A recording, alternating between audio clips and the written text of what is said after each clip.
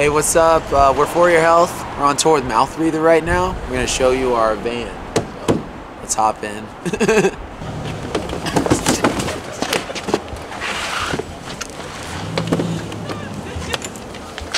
Jesus.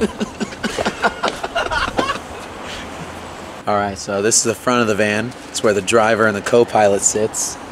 Got a bunch of shit over here. We like uh, we like drinks. Big yerba mate van. Uh, yeah, we got a case of those. Blue. Seltzers as well. The seltzers. We usually have like some some stuff that we hold on to for a whole tour and we don't touch for some reason. uh, it's pistachios right now. yeah, but uh, yeah. So usually swap off driving. There's a the There's four of us. Yeah. there's four of us. Uh, the femoids don't really drive. but, uh, so me, Johnny, and uh, Nick and Jake switch off usually. We've been rocking the uh, the FM radio. Uh, we have an aux cable, but we're being strong and we're not going to use it uh, as long as we can.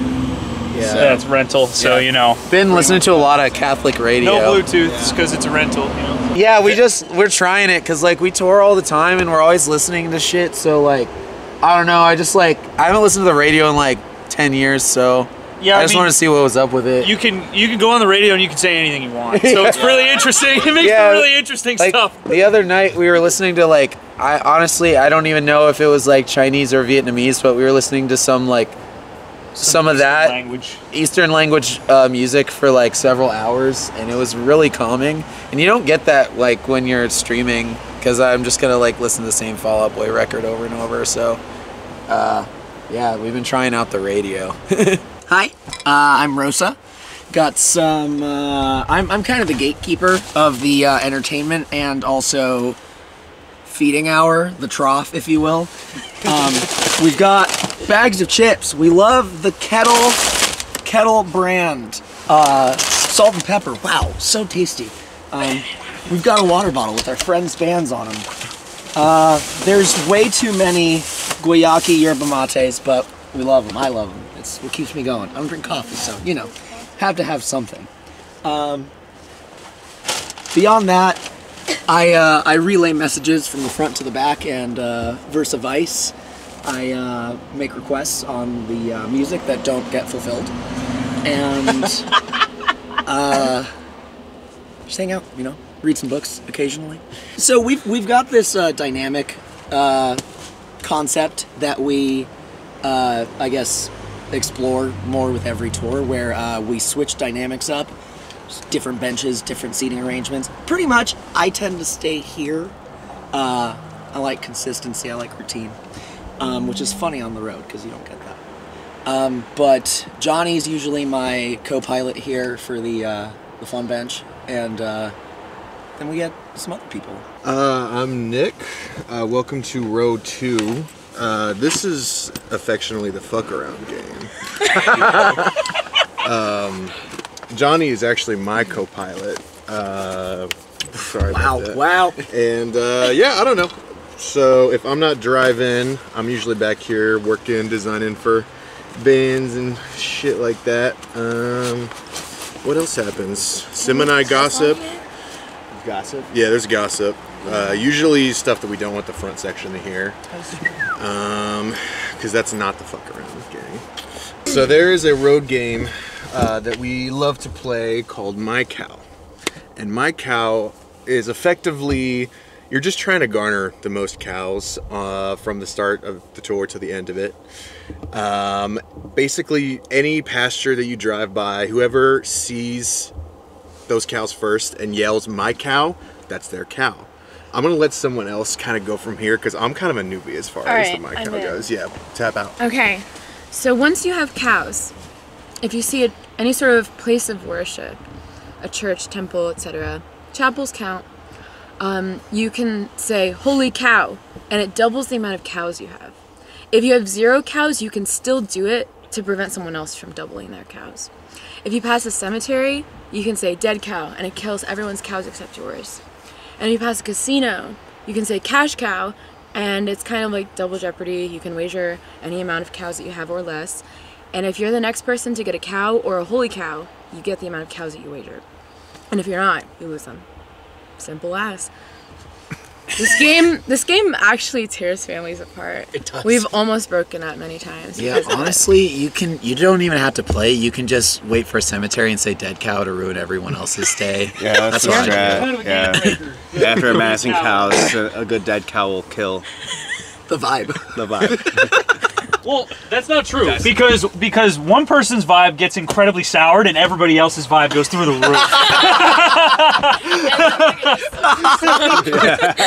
vibe crazy. Oh my god, that's so true. so, welcome to the last row. My name's Hayden. I'm Uh, Sim. Yeah, so basically the the last row is the only thing like keeping the way back from it's this kind of our containment unit right here. Since we got a trailer, we just kind of throw all of our personal shit in this big pile and try not to think about it. Uh, uh, it gets more fucked up every day, and you know, by the It's end of the tour, it's just kind of like I don't know, it's not good. So you can kind of see that creeping through here, but honestly, it's pretty cozy back here because like we can use some of this junk to like as like a a bed extension. So this is kind of back row is kind of like where you know we chill out and uh, also where Sim does their makeup. So Yeah. yeah. Yes, I do my makeup during the drive every day. I know, it looks so amazing. How do you do that in the van? I don't know. Um, maybe it's not that good on camera. I've honestly never seen my makeup in motion on camera, so I hope it's good. But yeah, our drive was really bumpy. It's actually the bumpiest in the back row. Um, but you just gotta go with it. And one thing I've learned is um, no harsh lines. Um, fuzz everything out, and then no one can really tell. Okay, so this is my crop. Um, I usually lean it up against the window. Kind of opens like that. I know it's a lot of stuff. Um, and I have this palette that um, the mirror broke off, but it's really good because you can just lean it up against the window and you can you can tape it if you want. Um, but yeah, that's how I do everything. Um, sometimes I don't really have the resources to clean my brushes, and that's good because I wear a lot of black makeup in this band. Um, yeah, so I pretty much do that back here. I film uh, TikToks that I don't really plan on posting, um, but I do edit them, and I even I even wrote a script for a voiceover back here, but I hate recording my voice. So yeah, that's pretty much me. All right. So basically, all of our personal items we got, um, you know, a lot of duffel bags, suitcases, got some records and some pillows and such. Um, there's no hangers in this van, so all of our our uh, fancies are just kind of floating around right now. it's kind of kind of unbearable, but you know, sometimes I'll get sometimes we can in our old van we used to like stack everything up against the wall and then we can come back here and crash or flop around and go joker mode or whatever you want to do We, we call this the way back. Yeah, like the way sometimes if you you know you're really tired and the bench isn't cutting it, you can kind of fashion this into a bed like a Voltron of sorts, using different items. Uh, we haven't done it yet on this tour, honestly, because we have an extra bench. But uh, oh it's come in handy before for sure yeah, it's we're being pretty bad on this tour because like the space management isn't doesn't have to be that good because most of our shit's in the trailer, so we're just kind of tossing it. But yeah on our first tour, uh, first big tour we did, we had eight people in a in a in a 15 passenger van with like gear for two bands and all the merch. So it was like uh, three to a bench, and then like just like a comp- the merch and everything was just completely like ceiling to floor. So this is like this is definitely an upgrade. Uh, we're on social media, you know, for your health OH on everything Twitter, Instagram. Uh, we don't really use Facebook anymore, but mostly active on Instagram. You can find all of our uh, tour links and music links and stuff there.